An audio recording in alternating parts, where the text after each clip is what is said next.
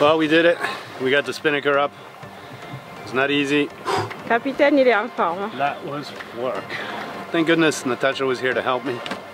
She hoisted it. It was getting tangled around the uh, Genoa furler. And I was able to keep it nice and taut while she was hoisting it. And I'm really glad she was here for that. Once it was up, it got a little bit tangled. It took me about three times to do it. I had to bring it back down. And I know I keep saying I'm gonna film it someday, but tough shit, I'm not. Most important thing is to do it, not to film doing it. Now look at the fucking result, man. It's amazing. And here we are in the middle of the Atlantic Ocean, about halfway between the Canary Islands and Cape Verde. And the wind conditions are absolutely spectacular. And it's much smoother riding and much smoother sailing. With the spinnaker, it seems to lift the bow up so that the roly-poly effect is diminished. So now it seems like it's lifted up, you know, so it's really cool. Tasha's thrilled. Total freedom, man. This is it. And here there is absolutely no one in sight, no pollution, no noise except the water. Amazing.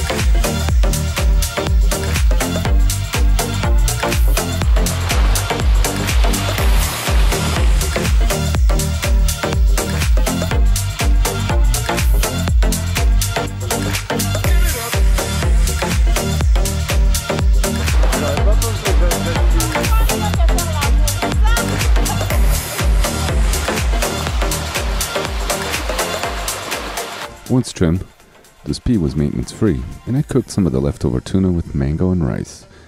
I craved some sweet and sour. Natasha wasn't so keen. We put away the spinnaker for the night with some difficulty. The sock would not come down, so now the spinnaker is just stuffed in the front cabin. I'll untangle it in the morning.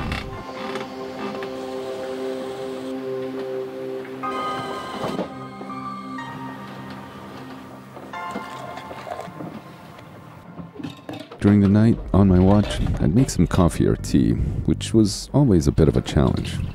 Then I got to look at the weather. Now, it's not the current conditions, but the forecast from Sunday night, three days ago. It is pretty accurate for now. As I said before, it's simply a video screen grab of the windy forecast. And it works. I had another issue. The battery voltage meter was indicating current voltage just under 12 volts. No big deal, but something to keep an eye on.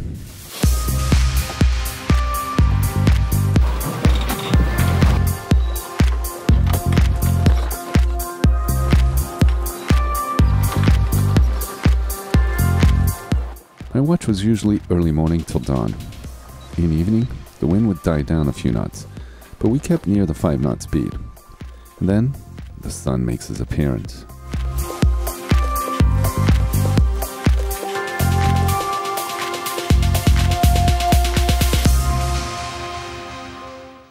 Well, I'm bored and fully awake. Time to take care of the spinnaker problem. As I mentioned, it was a big orange blob of nylon stuffed in the forward cabin. I stretched it out to the end of the cockpit and pulled the sock back on. You have no idea how great it is not to feel nauseous inside, because the boat kept on rolling and it was hot inside.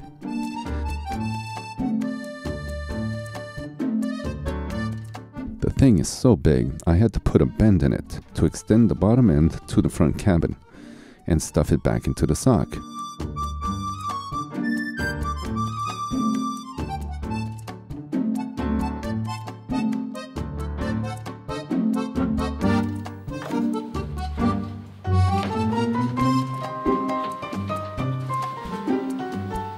And then fold it properly so it's ready for the next outing. During the night, I set up the sails dustily. So this is my downwind rigging.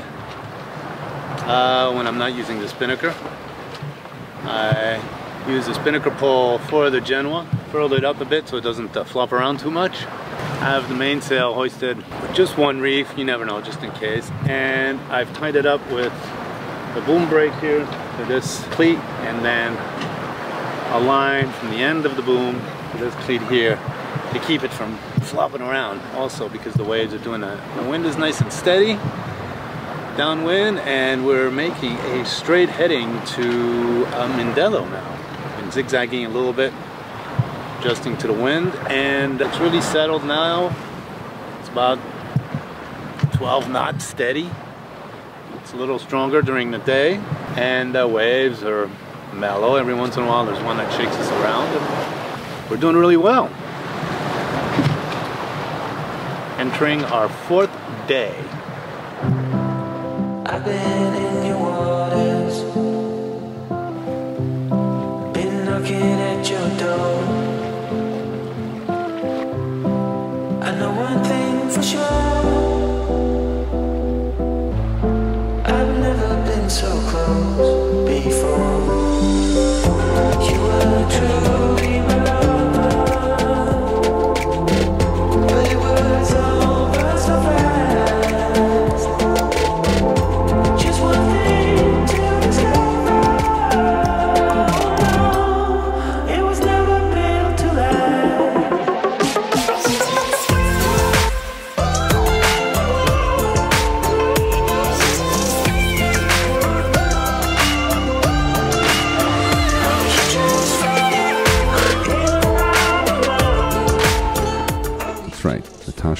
potato gnocchi, lathered in a curry tinged cream sauce and parmesan flaked all over it.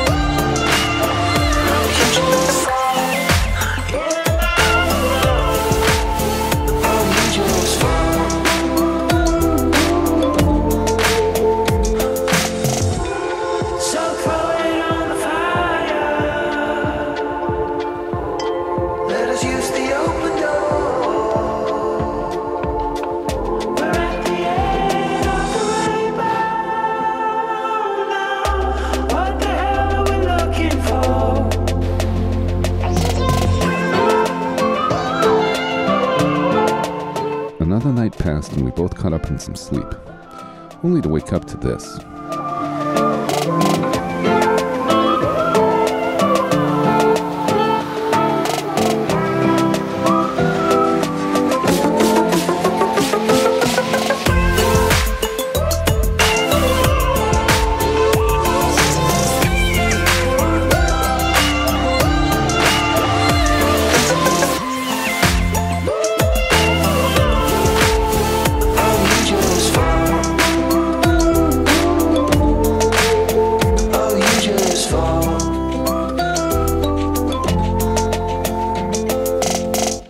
Almost halfway there.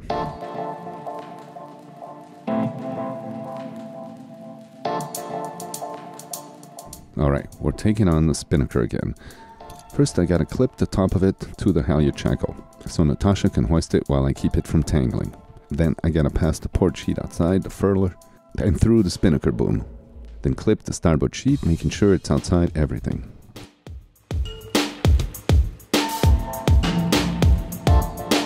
Now the magic comes as I raise the sock. The spinnaker balloons. But not quite. It's tangled at the very top, and I can't bring the sock back down or pull it further up. It will have to do. I put the boom in place, and we see how it looks.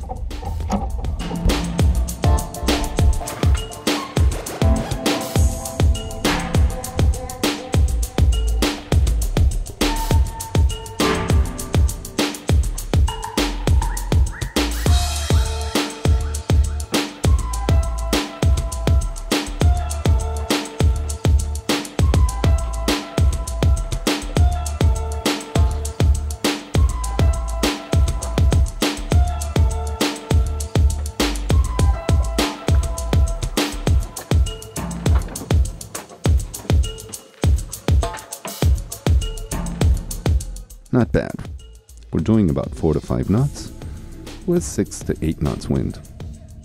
Could be better. And I'm annoyed that it's tangled at the top. I'll fix it when we take it down tonight.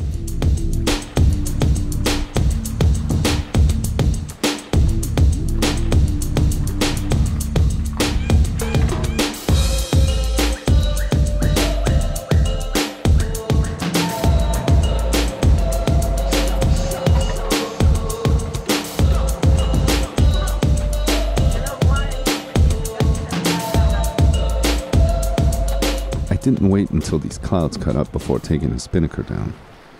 I put the sails back in scissor formation for the night, and as well, I turned the motor on a couple hours to give the batteries a boost. And the wind had died down somewhat. We had not had much sun and it was getting dark. The autopilot had been on most of the time, and that with the fridge, we're using up the battery charge.